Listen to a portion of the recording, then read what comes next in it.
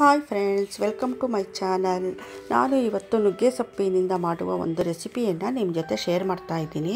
ಅದಕ್ಕೋಸ್ಕರ ಇಲ್ಲಿ ನಾನು ಒಂದೂವರೆ ಕಪ್ಪಿನಷ್ಟು ಸಣ್ಣ ಕಪ್ಪು ತುಂಬ ದೊಡ್ಡದಲ್ಲ, ಒಂದೂವರೆ ಕಪ್ಪಿನಷ್ಟು ಸಣ್ಣ ಕಪ್ಪಿನಲ್ಲಿ ಬೇಳೆಯನ್ನು ತೆಕ್ಕೊಂಡ್ಬಿಟ್ಟು ಅದನ್ನು ಒಂದು ಪಾತ್ರೆಯಲ್ಲಿ ಹಾಕಿಬಿಟ್ಟು ಒಂದೆರಡು ಬೌಲ್ ನೀರು ಹಾಕಿಬಿಟ್ಟು ಚೆಂದಾಗಿ ತೊಳ್ಕೊತಾ ಇದ್ದೀನಿ. ಹೀಗೆ ಕಿವುಚಿ ಕಿವುಚಿ ತೊಳಿಬೇಕು. ಏಕೆಂದರೆ ಬೇಳೆಯಲ್ಲಿ ತುಂಬಾ ಸ್ಪ್ರೇ ಮಾಡಿರ್ತಾರೆ. ಅದು ಇದು ಗಲೀಜಲ ಹೋಗೋಂಗೆ ನೀಟಾಗಿ ತೊಳೆದು ಎತ್ತಿಟ್ಕೊಂಡು ನೆನೆ ಇಡಬೇಕು ಬೇಳೆನ. ಇಲ್ಲಿ ನಾನು ನುಗ್ಗೆ ಸೊಪ್ಪನ್ನು ಕ್ಲೀನ್ ಮಾಡ್ಕೊತಾ ಇದ್ದೀನಿ. ಈ ಸೊಪ್ಪಲ್ಲಿ ಕಡ್ಡಿ ಕಡ್ಡಿ ಎಲ್ಲ ಇರುತ್ತೆ. ಎಲೆ ಬೇರೆ, ಕಡ್ಡಿ ಬೇರೆ ಆಗಿಬಿಡುತ್ತೆ ನುಗ್ಗೆ ಸೊಪ್ಪು. ಸೊಪ್ಪು ಬೆಂದಮೇಲೆ ಕಡ್ಡಿನೇ ಬೇರೆ, ಸೊಪ್ಪೆ ಬೇರೆ ಆಗಿ ಬಾಯಿಗೆ ಸಿಗ್ತಾ ಇರುತ್ತೆ. ಅದಕ್ಕೋಸ್ಕರ ನಾವು ಕಡ್ಡಿನೆಲ್ಲ ತೆಗೆದು ತೆಗೆದು ನೋಡಿ ಈ ಥರ ಎಲೆಗಳನ್ನ ಮಾತ್ರ ತೆಕ್ಕೊಂಡು ಸಪ್ರೇಟ್ ಮಾಡಿ ಎತ್ತಿಟ್ಕೊಬೇಕು. ಇದು ನುಗ್ಗೆ ಸೊಪ್ಪಲ್ಲಿ ವಿಟಮಿನ್ ಎ ಇರುತ್ತೆ ಐರನ್ ಇರುತ್ತೆ. ತುಂಬಾ ಯೂಸ್ಫುಲ್ ಮತ್ತು ಹೆಲ್ತಿ ಅಂತಲೇ ಹೇಳ್ಬೋದು. ಸೊಪ್ಪು. ಎಲ್ಲ ಸೊಪ್ಪಿಗಿಂತಲೂ ನುಗ್ಗೆ ಸೊಪ್ಪಿನಷ್ಟು ಹೆಲ್ತ್ಫುಲ್ ಆದಂಥ ಸೊಪ್ಪು ಬೇರೆ ಯಾವುದೂ ಇಲ್ಲ ಅಂತಲೇ ನನಗೆ ಅನಿಸುತ್ತೆ. ನೋಡಿ, ಇಲ್ಲಿ ನೀರು ಕಾದಿದೆ. ಕಾದಿರೋ ನೀರಿಗೆ ನಾನು ಆ ನೆನೆಸಿ ತೊಳೆದು ಇಟ್ಕೊಂಡಿರೋ ಅಂಥ ಬೇಳೆನ ಹಾಕ್ತಾ ಇದ್ದೀನಿ.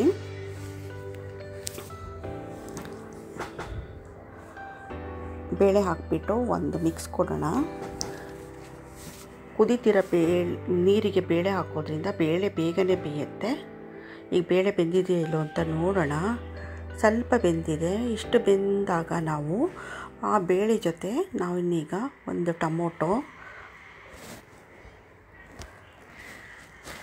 ಮತ್ತು ಎಂಟರಿಂದ ಹತ್ತು.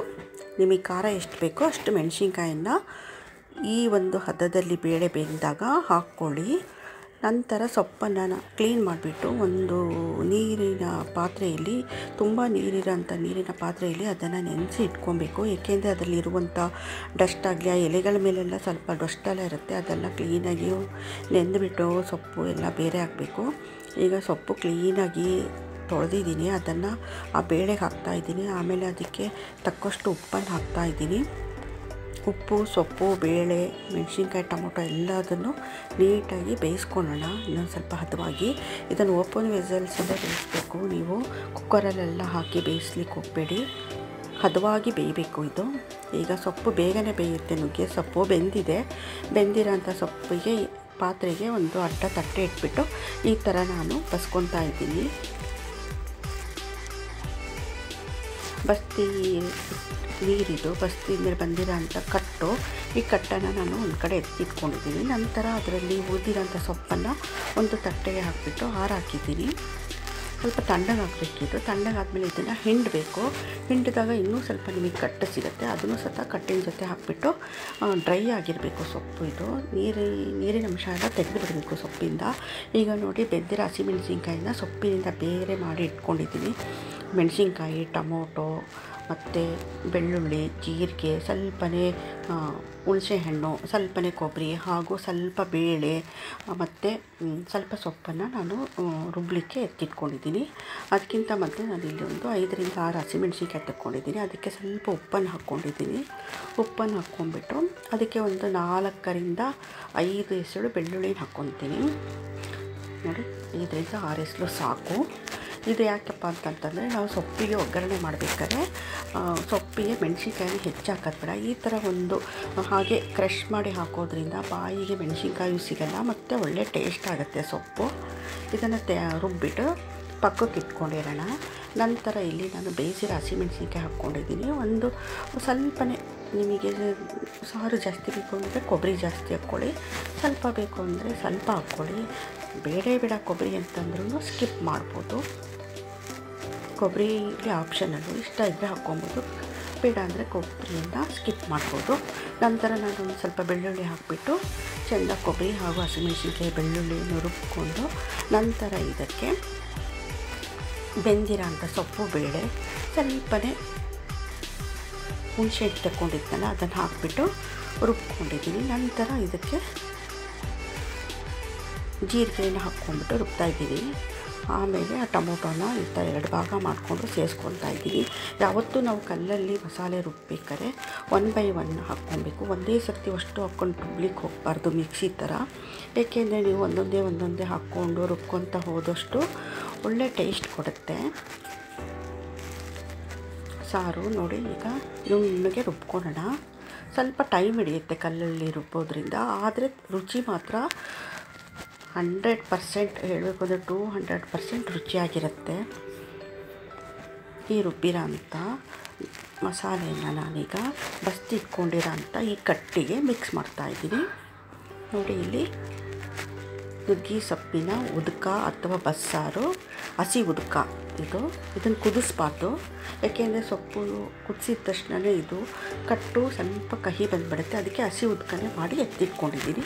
ನಂತರ ಒಂದು ಪುಡಿ ಹಾಕಿದ್ದೀನಿ.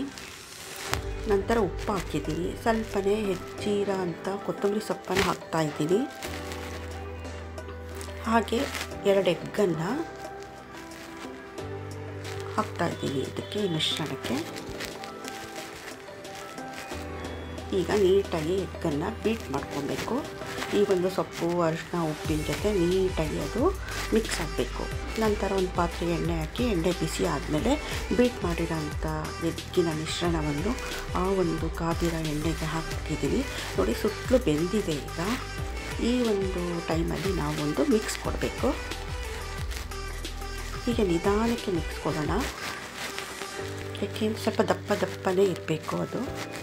ತುಂಬ ಸಣ್ಣಕ್ಕೆ ಹುರ್ಕೊಬಾರ್ದು ಮೊಟ್ಟೆನ.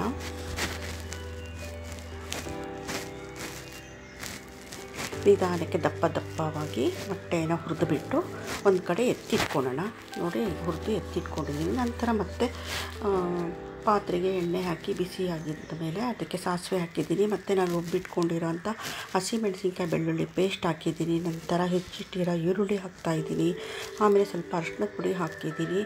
ಆಮೇಲೆ ಸ್ವಲ್ಪ ಉಪ್ಪು ಹಾಕ್ತೀನಿ. ಸೊಪ್ಪಿಗೆ ಉಪ್ಪು ಹಾಕಿ ಬೇಯಿಸಿರೋದ್ರಿಂದ ನೋಡಿ ಸ್ವಲ್ಪನೇ ಉಪ್ಪು ಹಾಕ್ಕೊಡಿ ನಂತರ ಬೆಂದು, ಬೆಂದಿರೋ ಸೊಪ್ಪನ್ನು ಹಿಂಡಿ ಇಟ್ಕೊಂಡಿದ್ದೆ. ಅದನ್ನು ಈಗ ಹಾಕ್ತಾಯಿದ್ದೀನಿ ನಾನು. ನಂತರ ಈ ಬೇಯಿಸಿ, ಫ್ರೈ ಮಾಡಿರೋ ಅಂಥ ಮೊಟ್ಟೆಯ ಮಿಶ್ರಣವನ್ನು ಈ ಸೊಪ್ಪಿಗೆ ಮಿಕ್ಸ್ ಮಾಡ್ತಾಯಿದ್ದೀನಿ ಕೊನೆಯಲ್ಲಿ ಮಿಕ್ಸ್ ಮಾಡ್ಕೊಬೇಕು. ಮಿಕ್ಸ್ ಮಾಡಿಕೊಂಡು ನೀಟಾಗಿ ಮಿಶ್ರಣ ಮಾಡಿ, ಮಿಕ್ಸ್ ಮಾಡಿ ಈ ಥರ ಎತ್ತಿಟ್ಕೊಳ್ಳೋಣ ಬಟ್ಲಿಗೆ. ನೋಡಿ, ಮೊಟ್ಟೆ, ಸೊಪ್ಪು, ಬೇಳೆಯ ಒಂದು ಸೈಡ್ ಡಿಶ್ ಸೊಪ್ಪು. ನಿಮಗೆ ಸೈಡ್ ಡಿಶ್ ಆಯಿತು ತಿನ್ನಲಿಕ್ಕೆ ನಿಮಗೆ ಮುದ್ದೆ ಜೊತೆ ತುಂಬಾ ರುಚಿಯಾಗಿರುತ್ತೆ. ರೆಸಿಪಿ ಇಷ್ಟ ಆದಲ್ಲಿ ಕಾಮೆಂಟ್ ಮಾಡಿ. ಕಾಮೆಂಟ್ ಸೆಕ್ಷನಲ್ಲಿ ಖಂಡಿತ ತಿಳಿಸಿ ರೆಸಿಪಿ ಹೇಗಿದೆ ಅಂತ. ಮನೆಯಲ್ಲಿ ನೀವು ತಪ್ಪದೇ ಈ ರೆಸಿಪಿನ ಟ್ರೈ ಮಾಡಿ ಲೈಕ್ ಮಾಡಿ. ಹೊಸಬರಾಗಿದ್ದರೆ ಚಾನಲ್ಗೆ ಸಬ್ಸ್ಕ್ರೈಬ್ ಮಾಡೋದನ್ನು ಮರೀಬೇಡಿ. ಫ್ರೆಂಡ್ಸ್ ಆ್ಯಂಡ್ ಫ್ಯಾಮಿಲಿ ಜೊತೆ ಶೇರ್ ಮಾಡಿಕೊಡಿ ನೋಡಿ, ಮುದ್ದೆ ಜೊತೆ ನಾನು, ರಾಗಿ ಮುದ್ದೆ ಜೊತೆ ಈ ಒಂದು ನುಗ್ಗೆ ಸೊಪ್ಪಿನ ಬಸ್ಸಾರು ಹಾಗೆ ಮೊಟ್ಟೆ ಹಾಗೂ ನುಗ್ಗೆ ಸೊಪ್ಪಿನ ಸೈಡ್ ಡಿಶನ್ನು ಹಾಕಿಬಿಟ್ಟು ತುಪ್ಪದ ಜೊತೆ ಟೇಸ್ಟ್ ಮಾಡಿದ್ವಿ. ನೀವು ಹೀಗೆ ಟೇಸ್ಟ್ ಮಾಡಿ? ಹೇಗಿದೆ ಅಂತ ಕಾಮೆಂಟ್ ಸೆಕ್ಷನ್ ತಿಳಿಸೋದನ್ನು ಮರಿಬೇಡಿ. ನೋಡಿ, ನಾನು ಈಗ ತುಪ್ಪ ಹಾಕ್ಕೊತಾ ಇದ್ದೀನಿ. ನಿಜವಾಗೂ ಫ್ರೆಂಡ್ಸ್ ತುಂಬಾ ಅದ್ಭುತವಾಗಿರುತ್ತೆ. ಖಂಡಿತ ಮರಿದ ಈ ರೆಸಿಪಿನ ಟ್ರೈ ಮಾಡಿ. Thank you for watching